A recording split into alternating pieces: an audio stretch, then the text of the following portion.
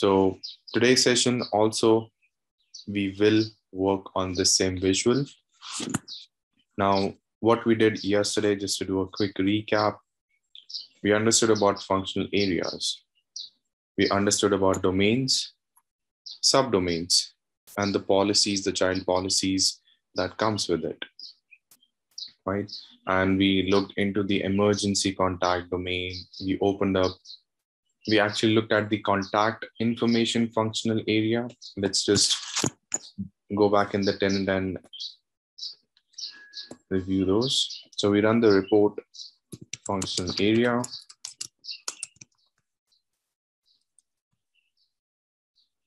Gives you about 100 plus items. Then we filter it on contact information. Oh, something, okay, that's here. We filter it on the contact information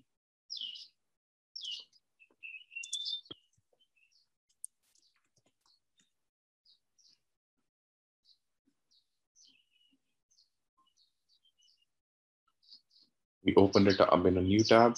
And even just from this visual as well, we can see that what this function area is about, what are the different domains, what are the different business processes that has, right?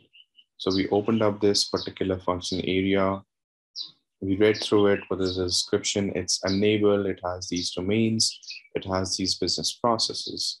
Now let's say we opened up a particular type of particular domain. There's no types there are no types and domains, I'm sorry, a particular domain, which is emergency contacts.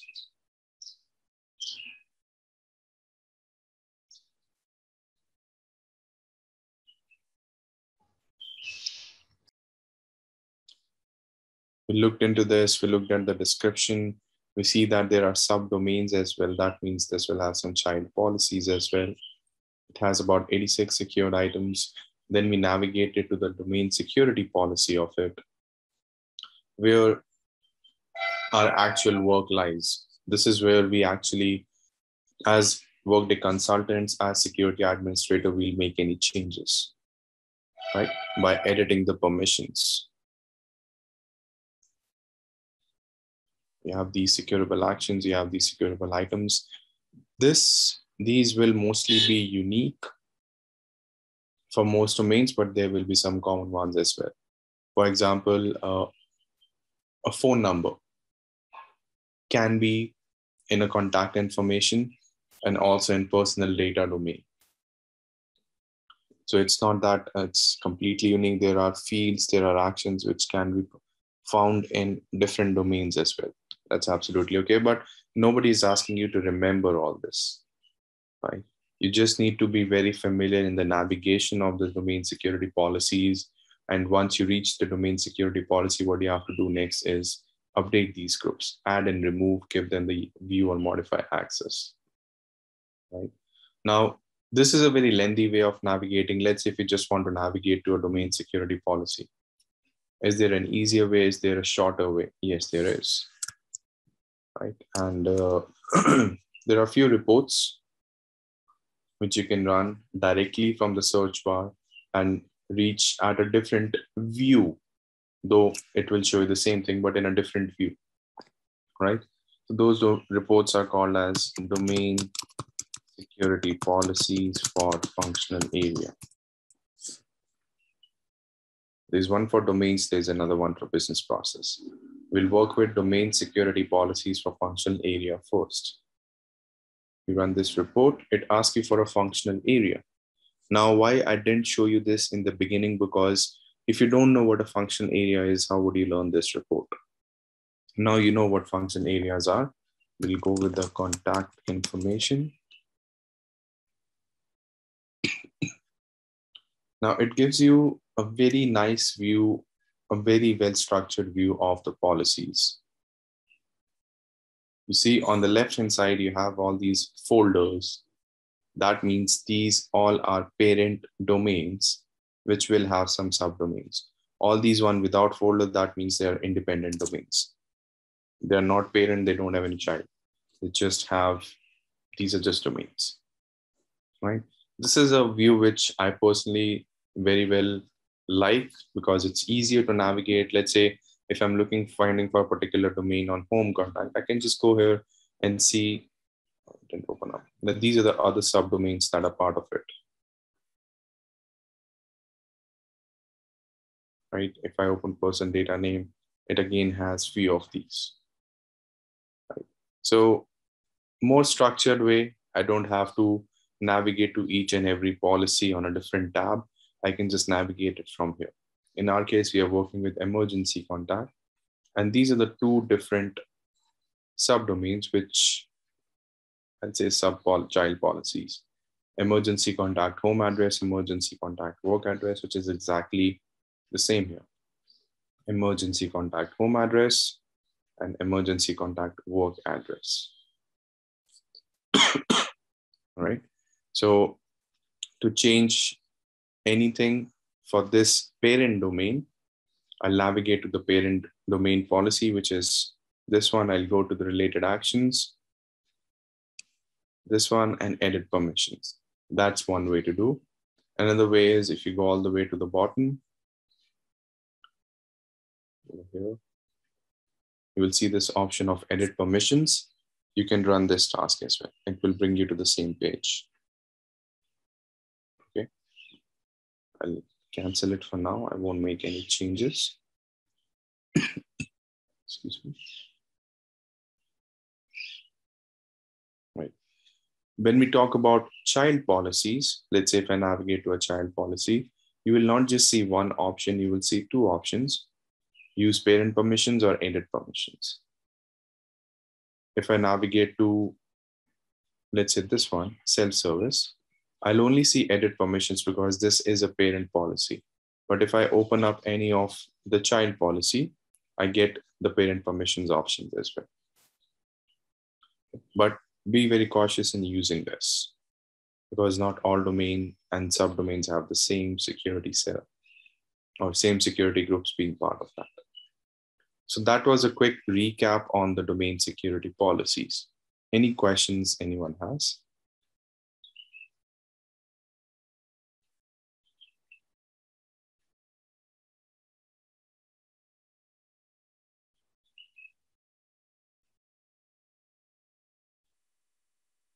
Okay. Let's go to the next part of it. Now we understood this section on the domain security.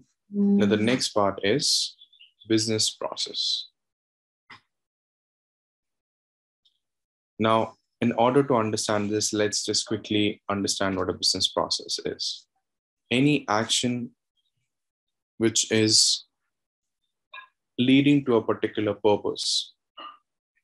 You're doing those set of actions to fulfill a business objective or a business goal is a business process. By the name itself, if you break it down, business and process. A process is nothing but a set of actions which helps you achieve a business objective. So the name business process. Right now, process. There are many reports which are worked and delivered, which you can run, which you can learn a lot about business processes. But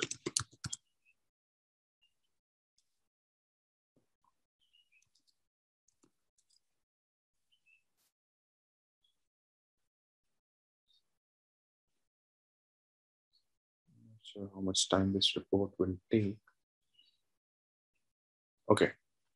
So you see there are about 310 items, which is very less than it should be, but um, there are a lot in nature. So a few examples, if I talk about, uh, I'll filter it here.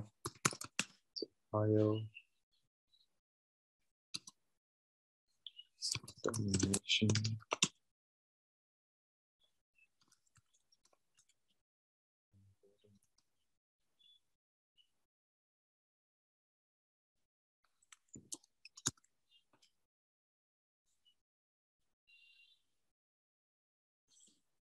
These are the four primary business processes that any any workday hcm consultant i'm specific to an hcm consultant should know about for sure If you're a finance consultant, it's okay if you don't know about this.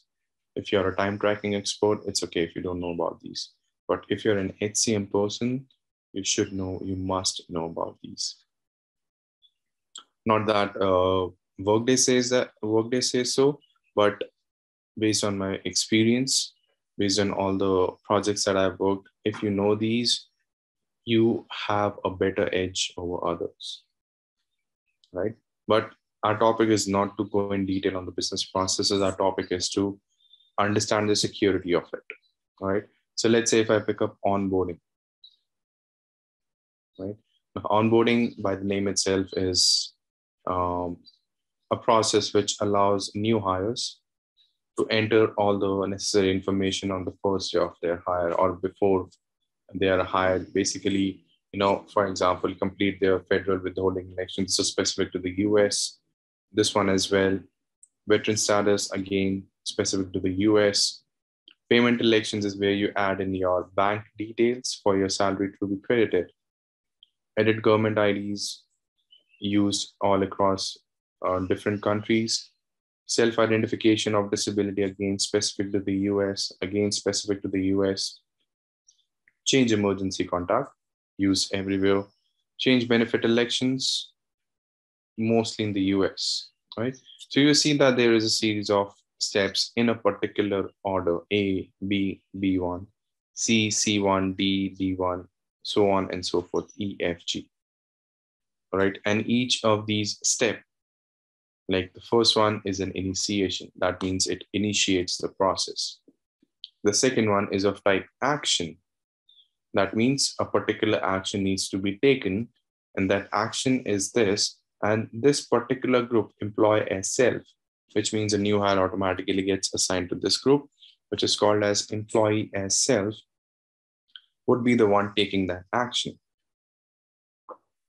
And in this case, it will be mostly employee as self and most of it are action items right the types there are more there are different types other than action like report tasks etc etc right? but the understanding of business process is a series of steps in a particular order which help you achieve a business objective right now this business process is not something that anyone can go in and run. You need to have the right security for that. Right? So let's uh, go back to that particular report that we just ran. And let's take example of, since we're talking about emergency contact, let's just talk about that. Okay. Just take that as an example. Now, change emergency contact is a business process. It might be smaller than the onboarding one, but let's see what do we have in there. Okay, so this is just an initiation step. That means whoever initiates it, that marks the completion of that step as well, right? But not everyone can go in and initiate an emergency contact change, right? So if I'm in if I'm an end user, I cannot go into my colleague's profile and initiate a change of emergency contact for their profile. That is not at all legal or ethical at the same time, right? It makes sense for me to change the emergency contact for myself, right? But I should not have access to change emergency contact for anyone else outside my profile even if I'm a manager? Am I reporting five, five, six people uh, reporting to me? That does not mean I have the access to change their emergency contact. It makes sense for me as a manager to have the view ability that will come from the domain. If I have to view someone's emergency contact, I should be part of a domain which gives me access to look at the emergency contact in case of a manager, yes, it makes sense that in case of an emergency, I should know that this is their emergency contact. I should be quickly navigate into the system and pull out their emergency contact. But in no circumstances, even as a manager, I should have access to change it. Right? only someone in the hr like with a superior access or something should be allowed to do that apart from the employee right? So who dis not i won't say who decides but how do we say where is the security for these business processes is in the business process security policies. The same way we had for domains you need to be member of a domain security policy. Likewise you have to be member of a business process security policy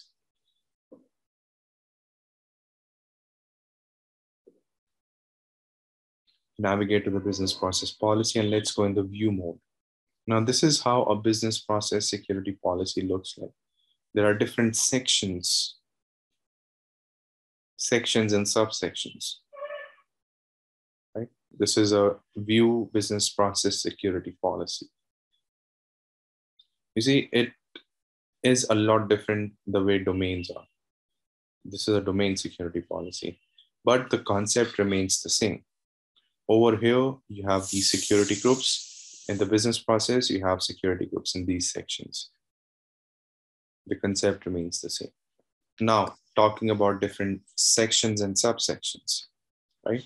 So, so every business process will have this parent section, which is who can start the business process, which is asking you that please tell us that which particular security groups should be able to start or initiate the business process. And in the subsection, it says it's an initiating action for change emergency contact, description from related actions, which means if you navigate to a user, let's say, if I open a new tab,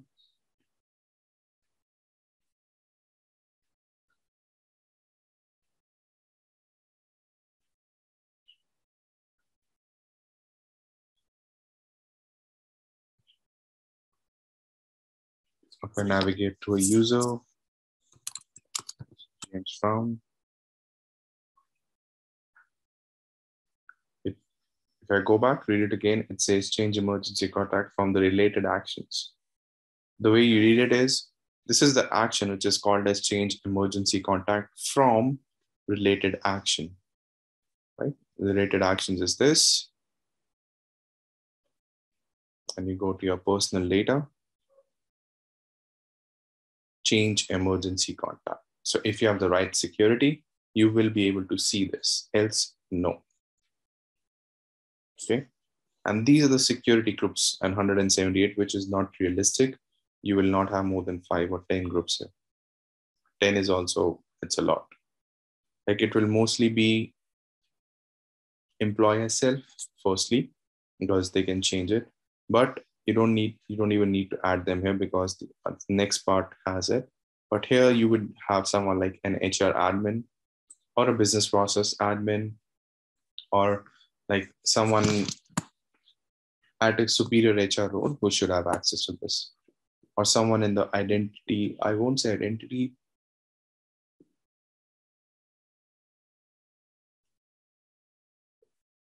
But someone who should know like who should have access to the emergency contact in your organization.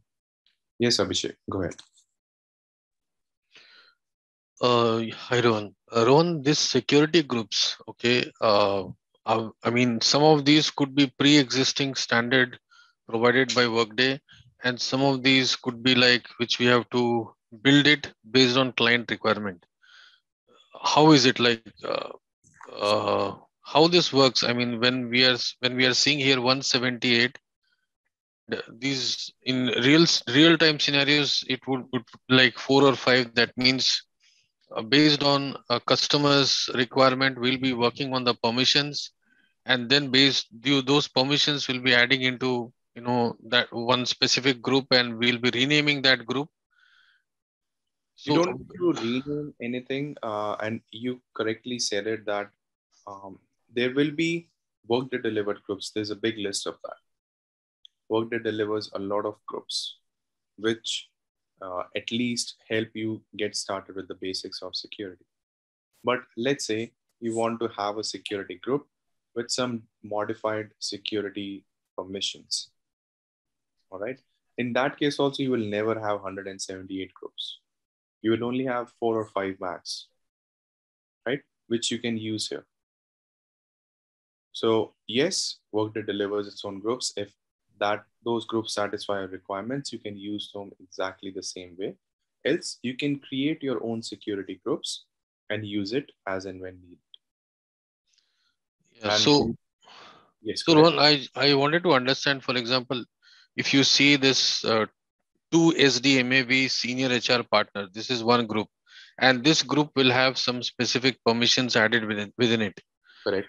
Okay, so where we create this this group, I mean, uh, We'll here. come we- Okay. We'll Okay. come Okay. Okay. So, like I said, that in this visual, you see, we first understood the function area. Now we Okay. at security policy. The next is security groups. Okay. Okay. So Fine. we- we'll we'll actually create like not the policies or the domains. We'll create everything here. Once we understand all the concept, all the links from right to left, then Mhm. our hands-on will start from left to right. Okay. Yeah. That's that's okay. Yeah. Because I'll I have I'll go slow. I'm going slow on this. Uh, every day we'll cover one part, and one day and in the last two sessions of this topic we'll do complete hands-on. So that is when, uh, like I said, right now we are going from right to left. Once we'll start going from left to right, most of your questions will already be answered by then. So uh, we are at the initiating action for change emergency emergency contact related actions right so how does this work like let's say you are part of the security group right you have that means that you can initiate the change emergency contact process if your security group if the security group that you are part of is not listed here then you cannot initiate it. That is how it works. Okay. Now the subsection two, or I won't number it, but another subsection, it's change my emergency contact. And how do we read it? The action is change my emergency contact from employee self-service. Right? Now, what is this? Show you that. James Brown employee.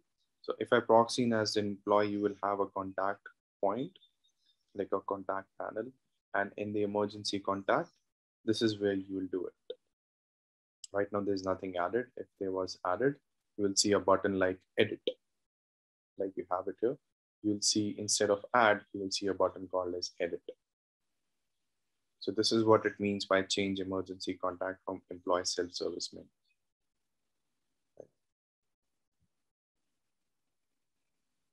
another type or another category is change emergency contact web services. These web services are nothing but EIBs or data loads which use business processes in the backend. So all the EIB data loads that we do, the bulk loads that we do, which is also one of the topics in the end of the course, uh, all these actually run these business processes in the backend. And these processes have to be web service enabled in order to be used for an EIB. So if you are part of a security group, that should be listed here to run this particular process. And then change emergency contact from sub event to hire and onboarding. That means if hire or onboarding business processes, which are usually big and lengthy, if they have change emergency contact as a sub process in one of their steps. And if your security group is listed here, that means you will have access to initiate it from there as well, or be able to process it. Right? Clear emergency contact. This is another task. If you have access to it, you can do that. Like in this case, if I go here,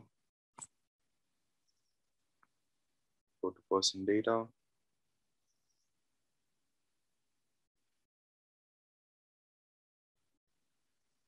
you should have something as clear emergency contact. I don't think this user that I'm logged in has the security groups added here. So that's why they don't have this, right?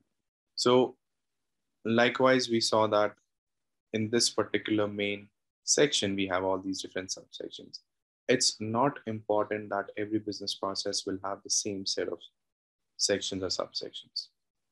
The parent sections will always be there, like who can start the business process or who can do the actions, but these might change based on what business process is. Let's say that business process is nowhere to be used for a data load, then you won't have this section. Let's say that process does not have any employee self-service option, that you won't have this section. You might have a different section. So with experience, the more you navigate to these processes, the more policies you look at, the more exposure you get right? Now, another parent process, which is who can do actions on the entire business process, right? Now, actions on the entire business process means, if I let me open this in a new tab.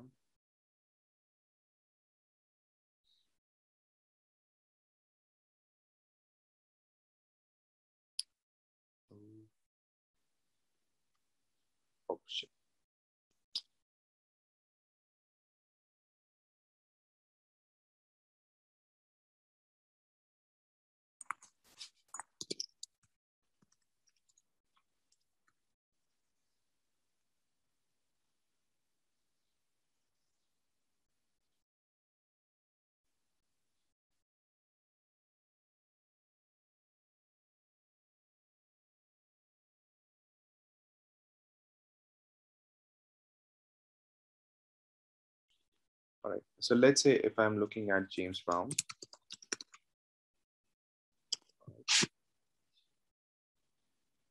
So I'll go to the contact information, emergency contact and add.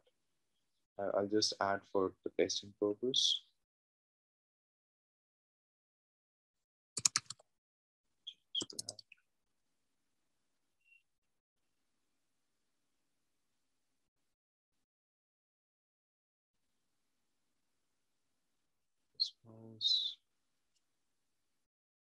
I'm just adding random values here.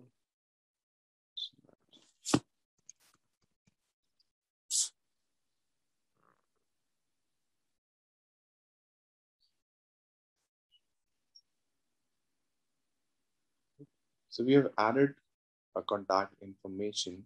Now, if I look at the worker history here, we'll see an event of change emergency contact for this particular employee if I open this, I can see that this process was initiated as of today on today's date, etc., etc., by this user, right?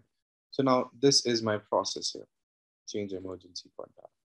Now, whatever actions, if I read the statement again, which says, who can do actions on entire business process? Entire business process means the business process as a whole. Right? That means if I go to the related actions, the options that I get, like process manually, rescind. Oh, let me proxy in as Logan because this person is not on the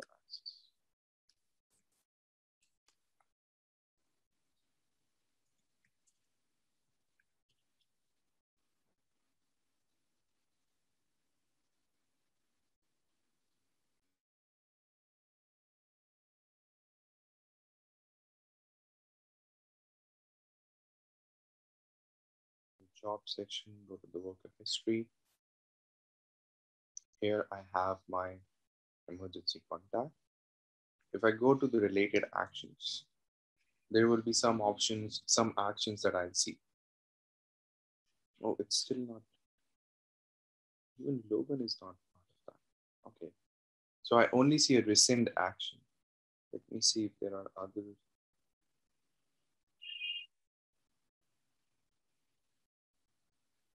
Oh, in this case, we get another one. You see a correct, a rescind. Let me see if there is another.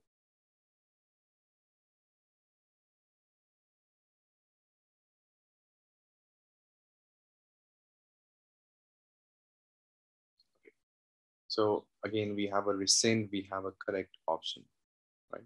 So there are three, primarily three types of actions. One is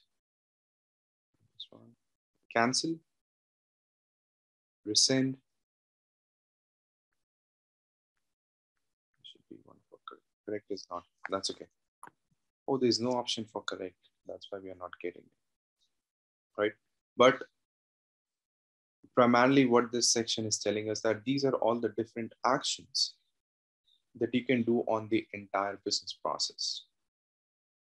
Like view all will give you access to all these steps that someone is running. Like I can open this process, mm-hmm. or let's say if I open the hire process, right? If I go here, it's only one step. Oh, that's crazy go back and let's see if we have another process which we can take example of this process.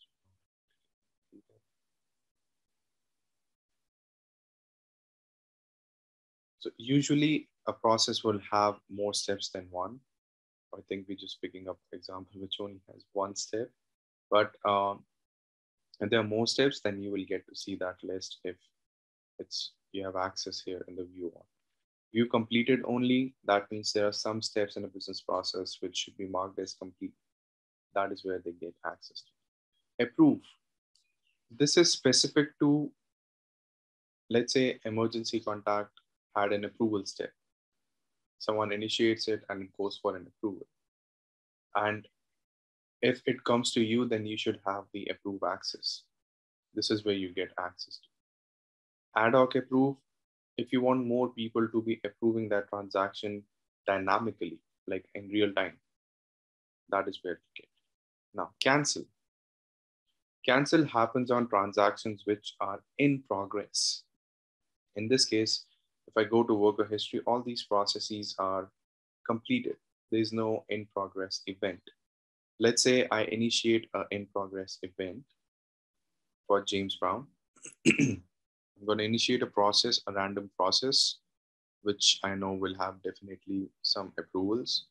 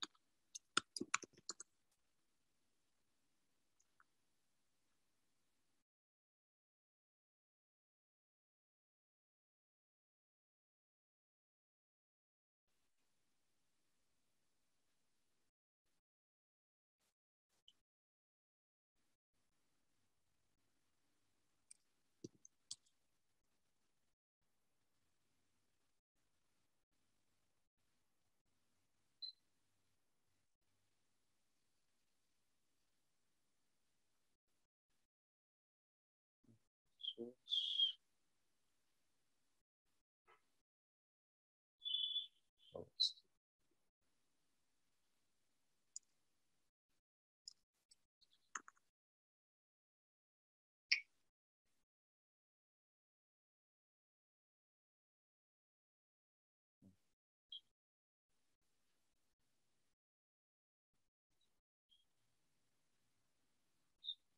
related.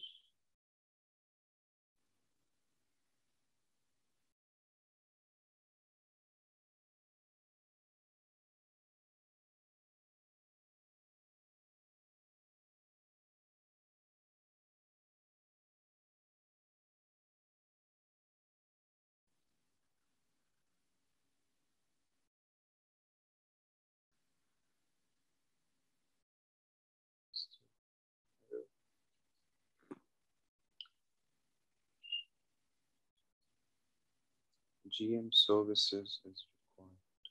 We did add the company though.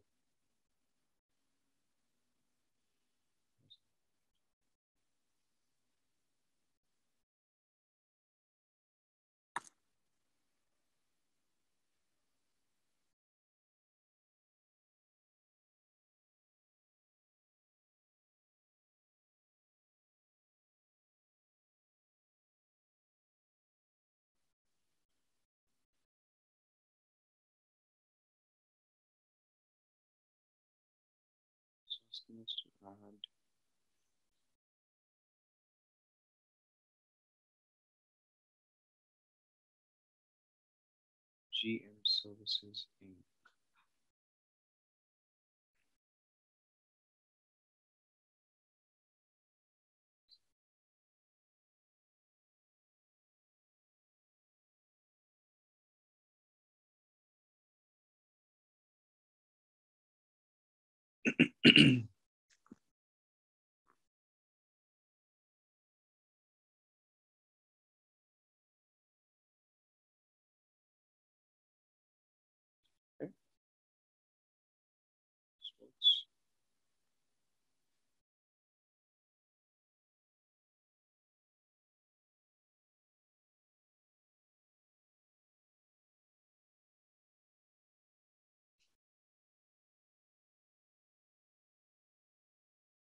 Okay.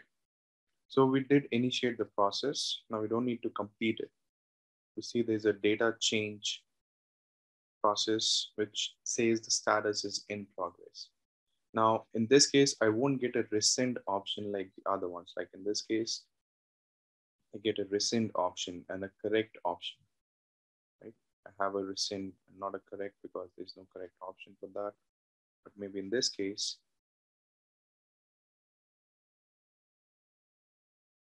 have a correct and a rescind. So rescind is an action which you can take on successfully completed transactions. Please make note of these.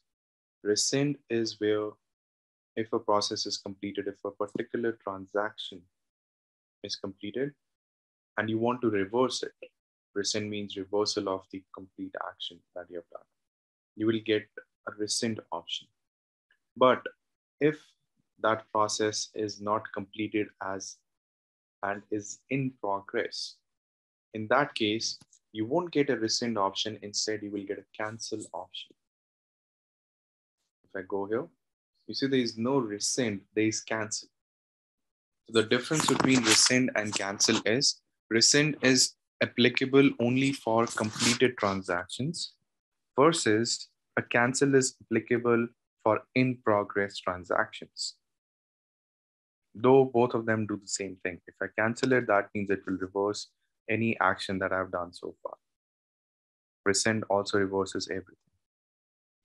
But one more difference in cancel and rescind is that, let's say this data change process, okay, has few more sub processes like a change in compensation or change emergency contact as part of this data change. For example, if I cancel it, there may be a possibility that it does not cancel the sub processes in the parent process. But In case of rescind, it's a 100% surety that all the sub processes will also be cancelled or vis via rescinded.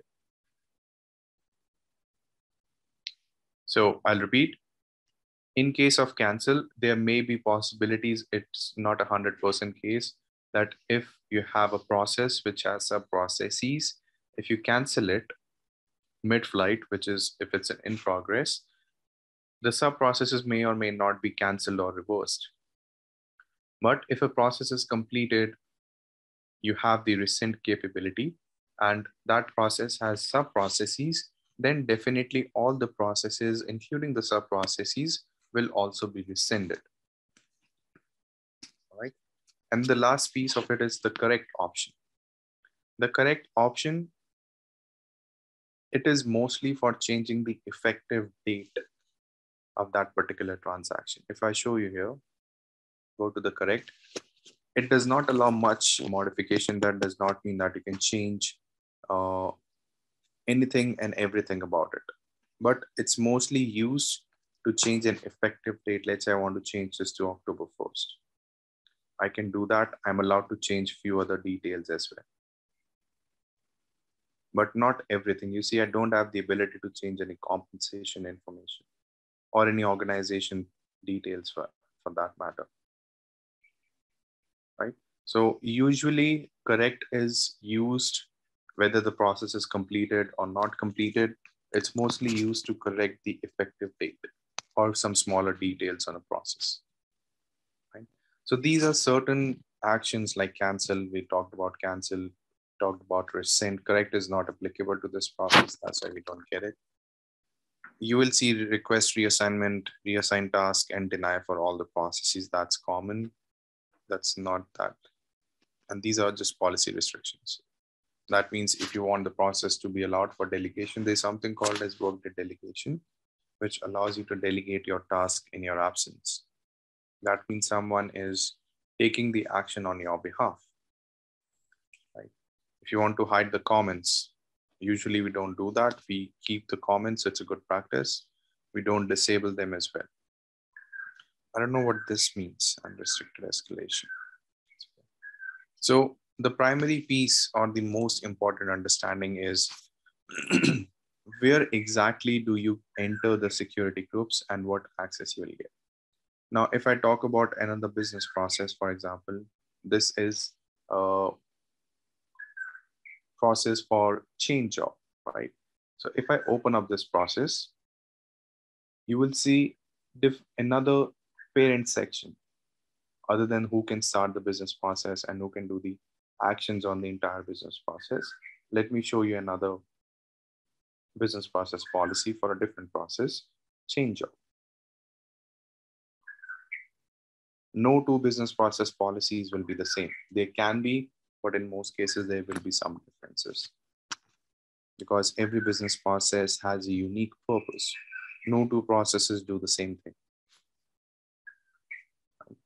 They might do similar things, but not the same. You can see who can start the business process, right? You have other options. This is a big process, so that's you'll see a lot of them. But what I wanted to show you is there's another parent section, which is called who can do action steps. Usually we get a lot confused between this one versus this one. The difference is very simple. When it says who can do actions on the entire business process, that means process as a whole. Like process is running, what you can do to that process. You can approve, you can rescind, you can cancel, you can correct, you can deny. Now this one, it says who can do action steps in the business process. This is very important. In, this is on, right? That means this is related to particular steps within the business process, right? So if I open up this business process in a new tab, uh, uh, one second, I think I can close the domain ones just to keep the tab clean.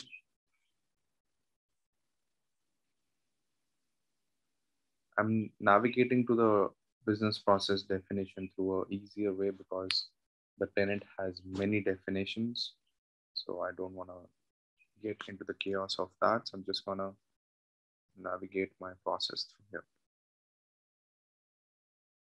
Right. So you will see that in this particular business process, there are a lot of steps and a lot of those steps are of type action. You see, action, action. So this particular part, which says, who can do action steps in the business process? This is relevant to these ones. And you see there are security groups here, manager, analyst. I can only add these security groups uh, only if I have those added here based on uh, what action we are talking about. Let's say this is a review change job. Do we have a review change job anywhere? We don't have that. We have, oh, we have review receiving manager, which goes to the manager. Let's see, do we have that? You see, we have review receiving manager with some description.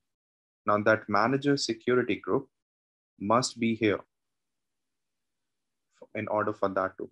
If so first you enter the manager here, you set up the security policy, then only you can add them here. Else you won't get to add them here. You see there's another called as change organization assignment. Let's see where that is. Oh, okay, got it not every action steps would be listed here because because very important aspect this is a business process in itself so basically this would become a sub process so in order to navigate to the security of this i'll have to open up this process i'll have to see this process in a different tab to see the security for this. I cannot see the security of this process. Let me again open up a new tab.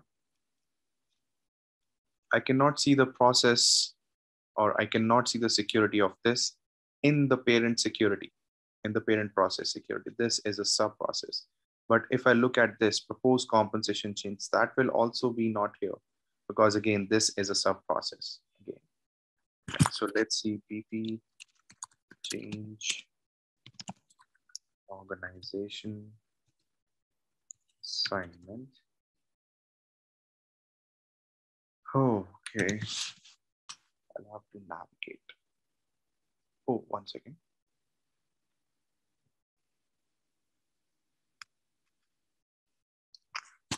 If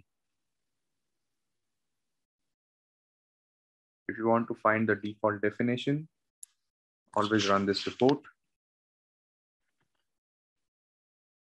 Business process types with default definitions in use and filter for the business process that you're trying to find. You don't have to use this in real world much like we're doing it here because in real world you won't have many, many change organization assignments, many different versions of this. I'll open up another one proposed compensation. Okay, add the filter. Let me open up this one first. So this change organization assignment, I'll close this, is what we see here, right? To look at the security of this, I have to open this and look at the security of this process. Excuse me. I'll go to the related actions.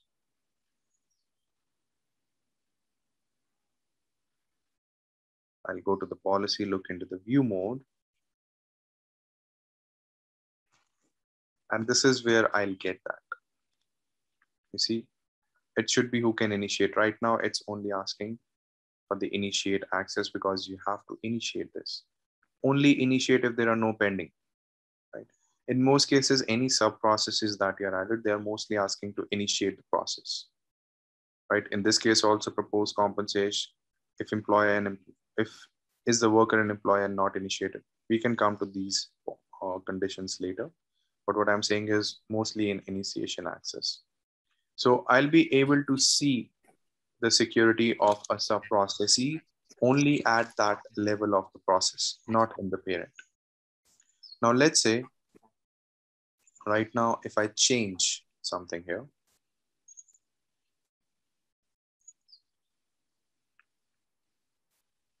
I edit this definition as of today.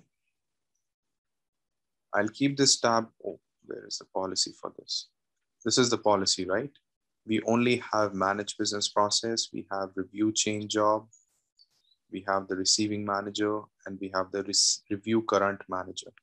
Already these groups added, right? Now let's say if I have to add this step, review current manager in the process, I can do that very easily. A, B, C, D. I'll do a step D. You don't need to worry about what I'm doing right now. We have the complete business process topic for doing this, but I'm just talking in context of. Right. So let's say I do add probation period, right? I, I won't be adding any security group here right now. I'll click OK. Oh, it's asking for this. So let me see uh, what security groups are allowed here. Let's say I'll just add this one. Picking up any security group, for example, right now. Now, if I navigate back to my security policy, let me see if that probation period is a process in itself.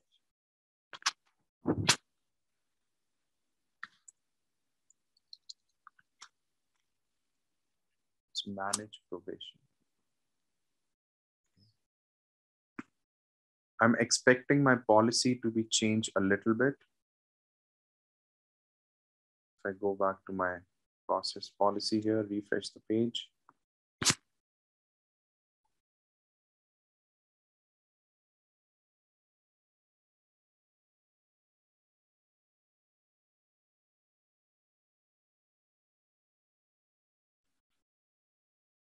Navigate to who can do the action steps in the process. Let's see if we have that added. No, it did not get added. I think it's a business process in its own. So what I was trying to do is update this policy. And how can we do that is we can add more action steps in the process, which are not a business process of its own. I added this step E. This is a business process of it in its own, which is called as manage probation period. So that's why the security of it will be managed there. So your security policy decides who can take an action on the process, whether it's a sub processee within a parent process or if it's just a parent process in its own or an independent process without any sub processes.